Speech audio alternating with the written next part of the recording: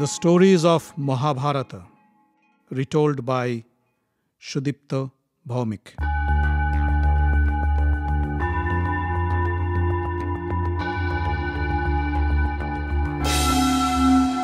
Welcome, dear friends, to another episode of The Stories of Mahabharata. In the last episode, we heard of Arjuna's trip to the heavens and his encounter with Urvasi, the Apsara.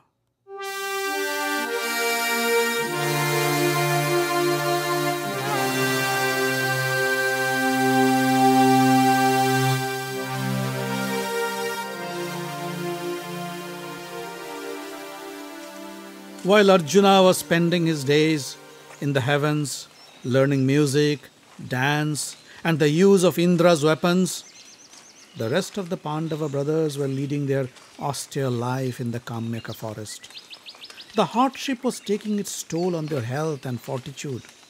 Bhima would often become impatient and implored Yudhishthira to attack the Kauravas. Yudhishthira would patiently try to quell his anger and try to give moral justification for his decision. Arjuna's absence was also another cause for their grief. His presence always gave the brothers the confidence to deal with any adversity. Yudhishthira also worried about the well being of his brother Arjuna. They didn't hear from him for years and wondered if he is safe and sound. One day, the great sage Rishi Brihadaswa visited the Pandavas at the hermitage. Yudhishthira greeted him with respect and offered him food and drink. The Rishi noticed that Yudhishthira was not his usual self. He looked morose and tired. Brihadaswa asked, My dear Yudhishthira, why do you look so sad? What's bothering you? Yudhishthira looked at the Rishi and said, O Rishi, I am the most unfortunate and ill fated man this earth has ever seen. My actions have caused great suffering to those I love and care. I failed to take care of my people who depend on me. It pains to see my brothers and Draupadi go through this hardship only because of me. I sent my dear brother Arjuna to the far northern lands to fetch weapons and haven't heard from him since. I don't know whether he is dead or alive. At times, I feel like I am the greatest loser and a disgrace to the Kuru dynasty. Rishi Brihadaswa held Yudhishthira's hand and said, Don't despair, my son. Have faith in yourself and your brothers. I am sure you'll come out victorious one day. Haven't you heard of Nala, the king of Nishada? The handsome and virtuous king had to go through hell on earth because of Kali, the god of the dark age. Just like you, he lost all his wealth and kingdom in a game of dice to Pushkara. He went mad and deserted his beautiful wife Damayanti. Alone, without any belonging, the poor king wandered naked in the forests. Still, he recovered from his misfortune and got back everything he lost. In comparison, I'd say you're much better off. You have the support of your valiant brothers and your wife Draupadi. You have powerful friends like Krishna and King Drupad. You should not feel sorry at all. Stay on the path of Dharma and you will emerge victorious.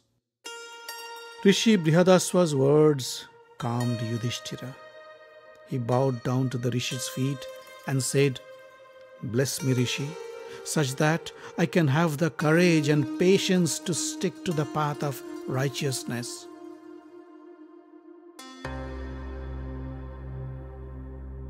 A few days later, a Brahmana sage named Lomash arrived at the Pandavas' hermitage. He embraced Yudhishthira and said, I have great news for you. I was at the palace of Indra and met your brother Arjuna. He is doing fine. He requested me to tell you that Lord Shiva has gifted him the Pashupat weapon. He has also acquired several other powerful weapons from Indra. The Pandava brothers were ecstatic to hear the good news. Yudhishthira touched the feet of the great Rishi and said, O great sage, you have brought to us the most wonderful news. Tell us when is our dear brother coming back? The Rishi smiled and said, Lord Indra has asked me to inform you that Arjuna will come back to you soon after he completes an important assignment. He suggests you use this time to visit the various places of pilgrimage around the country and learn the myths and legends about them. It will be an illuminating and inspirational experience for you. He asked me to accompany you on these pilgrimages. That's a wonderful idea, said Yudhishthira. We are tired of living in this Kamyaka forest without our brother Arjuna. A visit to the holy places will keep us engaged and enrich our knowledge about this great land of ours. Lomash said, Then let's prepare for the journey. I suggest you travel light, since the path is quite perilous. Only the toughest of tough can make this journey. Yudhishthira understood what the rishi meant. He went to the Brahmins and rishis who accompanied them and said, Friends, we have lived together in this forest for so long, and you have always stood by our side. Now we plan to embark on a pilgrimage. Rishi Lomash will be our guide. However, he warns me that this journey won't be smooth. The road is difficult and full of unknown dangers. We may have to climb mountains, cross through deserts, travel through extreme weather conditions. Food and drink can become scarce. I cannot subject you to this hardship. I request you go back to Hastinapur. I am sure King Dhritarashtra would welcome you with open arms and provide you with all your needs. If he doesn't, then go to Panchala and King Drupad would accept you for sure. The news saddened the Brahmins, and most of them left for Hastinapur with a heavy heart. But few refused to go back. They said, O great Pandava, we don't care for any dangers or any hardship. We will accompany you on your journey. Please, please take us with you. And Yudhishthira couldn't turn them down. Soon after, on an auspicious day, the Pandavas, along with Draupadi, their priest Dhaumya, and the accompanying Brahmins, began their journey with Rishi Lomash on the lead. After visiting Naimisharanya, Prayag, and others, the Pandava entourage arrived in Manimati, the hermitage of Rishi Agastya. Yudhishthira was curious about Agastya. He asked Rishi Lomash, I heard that Agastya was a great sage, but I don't know what his greatness was about and why his ashram is a place of pilgrimage. Lomash sat down and said, Sit down, and I will tell you the legend of Agastya.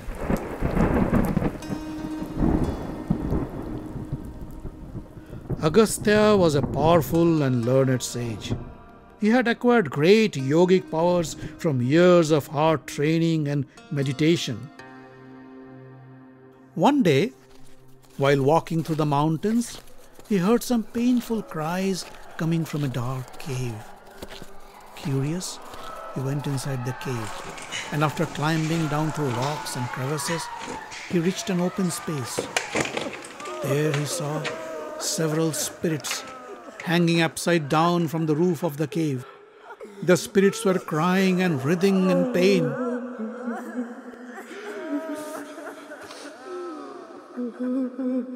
Agastya asked, Who are you? And why are you crying? The spirit said, We are your ancestors.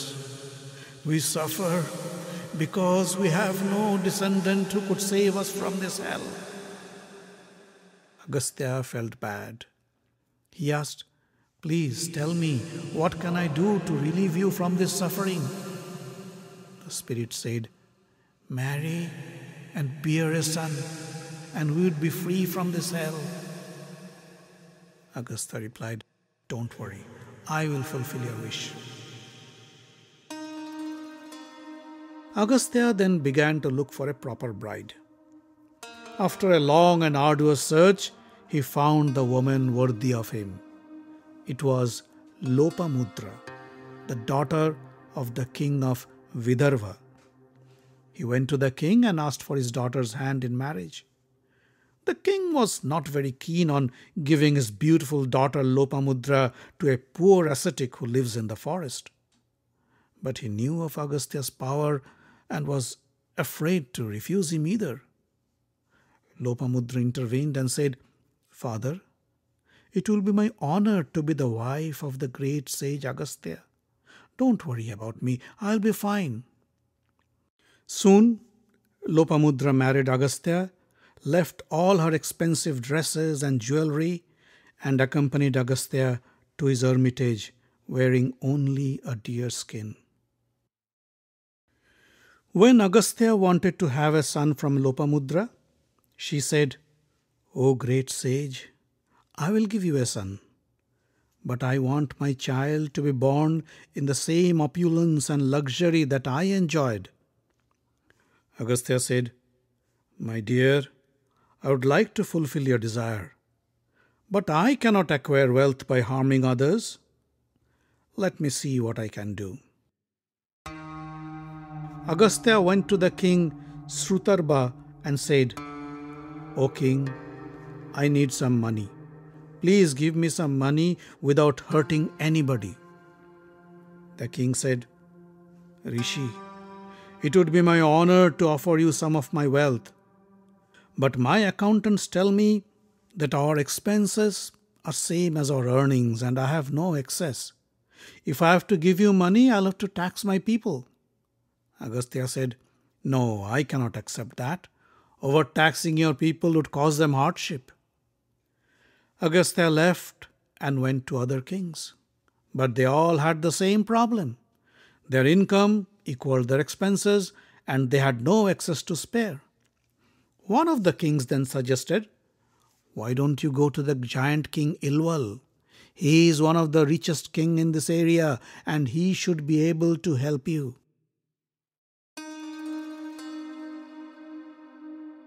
Ilwal, the giant king, had magical powers. Once he prayed to a Brahmin sage to give him a son. The sage refused to oblige him. Angry Ilwal decided to kill any Brahmin who came his way. But he used a novel way to murder his victims. Whenever a Brahmin visited him, he would call his brother Vatapi and with his magical powers transform him into a goat. He would then slaughter the goat and cook its meat for his Brahmin guest. After the guest finished his meal, Ilwal would call out his brother, Vatapi, come out from our guest. Please, come out. And Vatapi would return to his goat form and come out, piercing the Brahmin guest's belly and killing him instantly. When Agastya visited, Ilwal welcomed him with folded palms and invited him to have dinner. Agastya agreed. Ilwal then began his old trick. He transformed his brother Vatapi to a goat, cooked his meat, and served Agastya. Agastya ate all the meat to his heart's content. When Ilwal called out, Vatapi, my brother, come out! But nothing happened. Vatapi did not come out from Agastya's belly. Ilwal was surprised. He saw Agastya sitting calm and smiling with his hand on his belly. Ilwal yelled few more times, Vatapi, where are you? Come out from your hiding! Come out now! But nothing happened. Agastya smiled and said, My dear Ilwal, how can Vatapi come out? I have already digested him.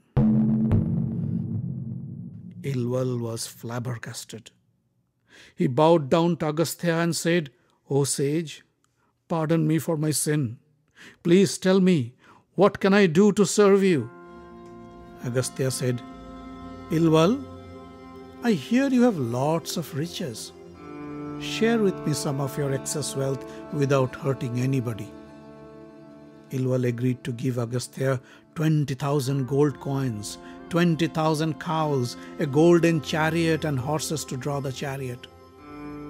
Agastya returned to Lopamudra with his acquired wealth and said, My dear, now tell me, what do you want? A thousand sons? A hundred sons? Or only one son who is better than a thousand sons? Lopamudra said, I want only one son. One who would be as strong and as learned as thousand sons. In due course of time, she gave birth to a bright boy child named Dridhasyu. This, my dear Pandavas, is where the great sage Agastya lived. Lomash concluded his story. But Yudhishthira was eager to hear more. He asked, Rishi Lomash, I understand Agastya had caused few more miracles in his life. Please tell us of those incidents. Lomash said, Once the demon clan named Kaleya, led by Vrityasura, attacked the gods in the heavens. The tormented gods went to Brahma and asked for a way to destroy the demon. Brahma said that a weapon made from Rishi Dadhicha's bones could only kill Vrityasura. Lord Vishnu led the gods to Dadhich and asked for his bones. Dadhich was happy to oblige Lord Vishnu and gave his life. The gods took Dadhicha's bones and asked Vishwakarma to build a weapon. Vishwakarma built a powerful thunderbolt from Dadhicha's bones. Armed with the thunderbolt, Indra and the gods attacked Vrityasura. During the fight, Indra hurled the thunderbolt at Vrityasura and killed the evil giant. The death of Vrityasura caused havoc in the demon army and they all fled under the sea. However, at night, the demons would emerge from the oceans and kill the Brahmins and hermits living near the ocean. Indra and the gods then went to Agastya to ask for his help. Agastya went to the seaside and in one huge gulp drank the waters of the ocean, leaving it bone dry. The demons were all exposed and the gods killed them all. Indra then asked Agastya to throw up the water he drank to fill the oceans back again. Agastya said, I'm sorry. The water is all digested. You must try some other option. The gods were in a fix. How could the oceans remain dry? Brahma said, Don't worry. Many years from now, King Bhagirath would once again fill up the oceans with water.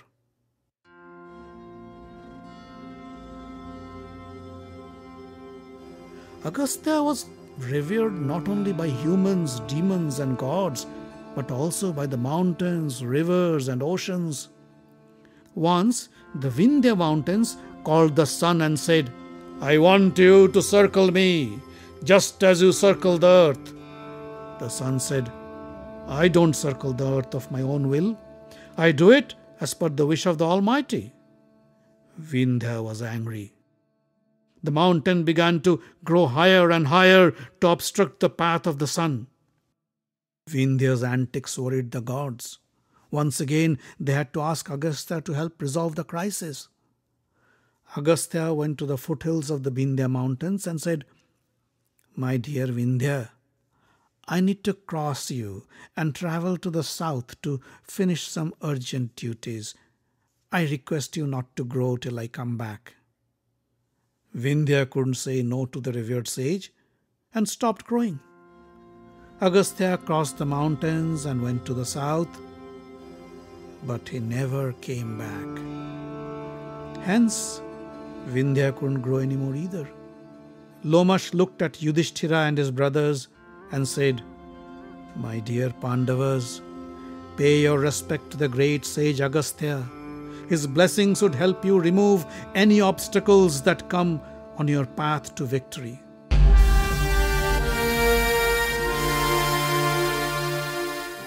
The Stories of Mahabharata is written, directed, and told by Sudipta Bhawmik. Audio engineering, original music, and sound design by Avi Ziv. Find us online at facebook.com slash Mahabharata Podcast. Join the group for updates and news. Subscribe to the podcast using iTunes or any other podcast catcher. On Twitter, we are at Mahabharat Audio.